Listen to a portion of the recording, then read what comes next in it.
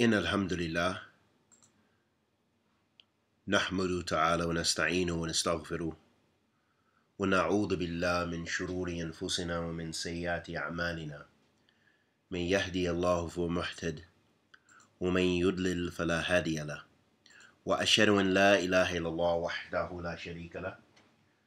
وأشهد أن محمدا عبده ورسوله صلى الله عليه وعلى آله وسلم. أما بعد أيها الأحبة We're all in need of Allah subhanahu wa ta'ala in all of our affairs. All of us go through trials and tribulations. All of us has various struggles in our lives. And we need Allah subhanahu wa ta'ala. We need His assistance. We need His favor.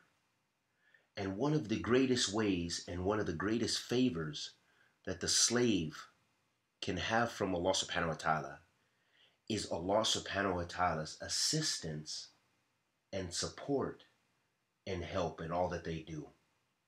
And especially Allah subhanahu wa ta'ala's favor and assistance in worshiping Him and seeking His pleasure.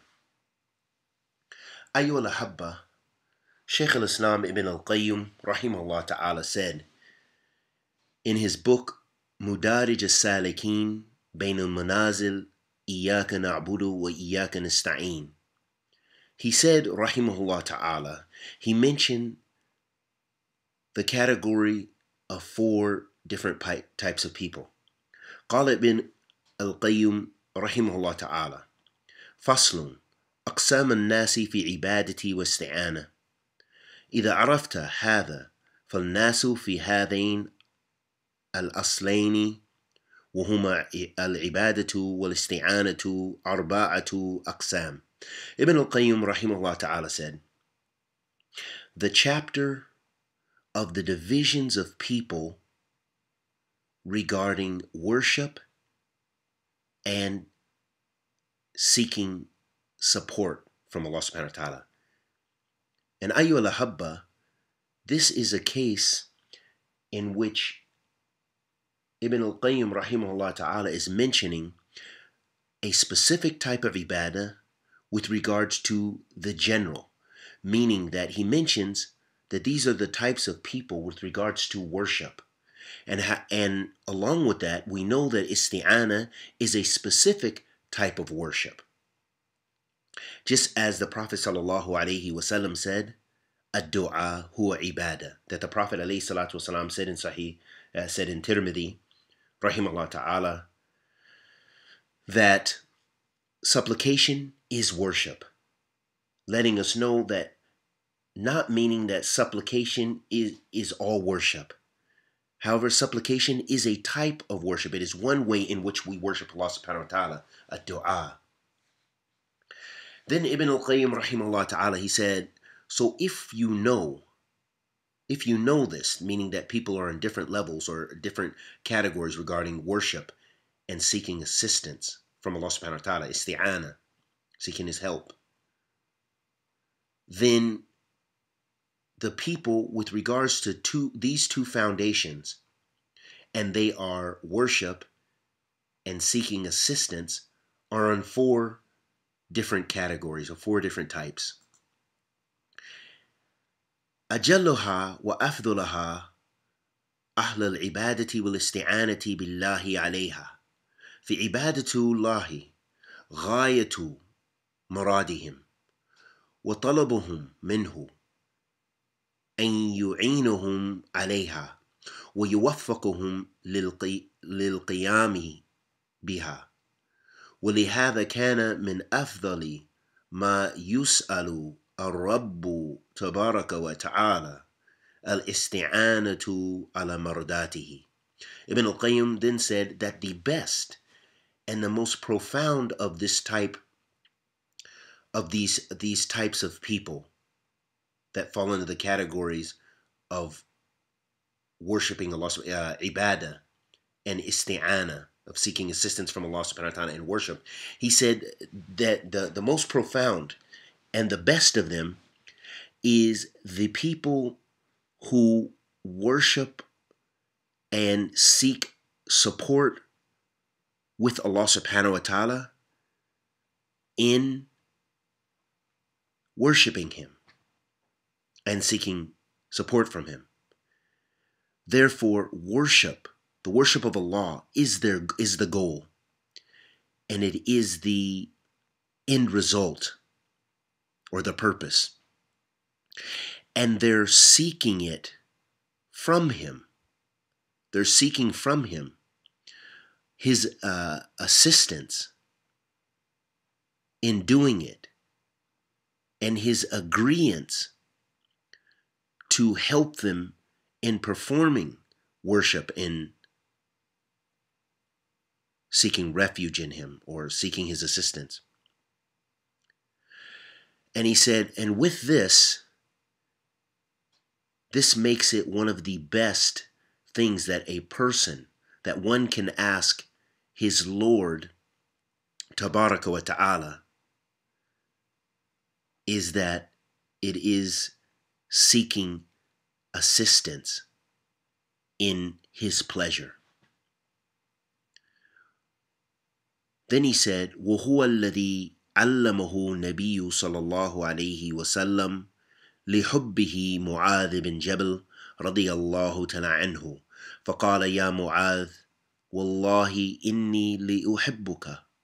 فلا تنسى أن تقول دبر كل صلاة اللهم أعني على ذكرك وشكرك وحسن عبادتك. Then Ibn al-Qayyim, he said, mentioning, he said, وَهُوَ الَّذِي عَلَّمَهُ نَبِي صلى الله عليه وسلم, that Allah is the one who taught the messenger sallallahu alaihi wasallam to his, uh, had the messenger teach, Allah taught the messenger alayhi salatu wasalam, and he said to his beloved Mu'adh ibn Jabal radiyallahu ta'ala anhu, and he said, O Mu'adh, Wallahi, I love you. So do not forget to say at the end of every salat or after every salat, Allahumma a'anni ala dhikrika wa shukrika wa husni ibadatika. To say, O Allah, assist me in remembering you and thanking you and perfect ibadah of you and perfect worship of you. Then Ibn al-Qayyim rahimahullah ta'ala said, فَأَنْفَعُ دُعَائِ طَلَبَ الْعَوْنِ عَلَى مَرْدَاتِهِ He said, then the most beneficial supplication is seeking assistance to gain his pleasure.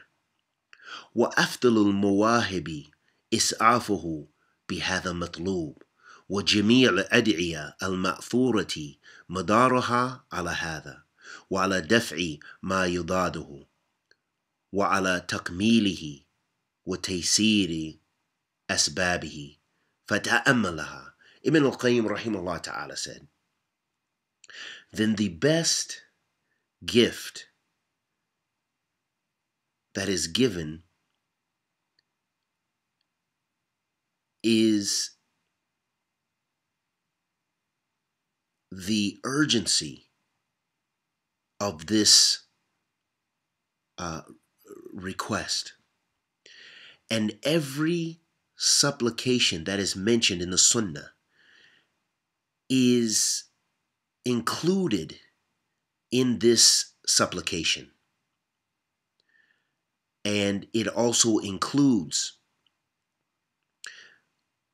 the protecting from that which contradicts what is requested in this dua. And it completes and makes easy the reasons for having one's dua answered, meaning this dua contains all of these things. And then he said, So therefore reflect upon it.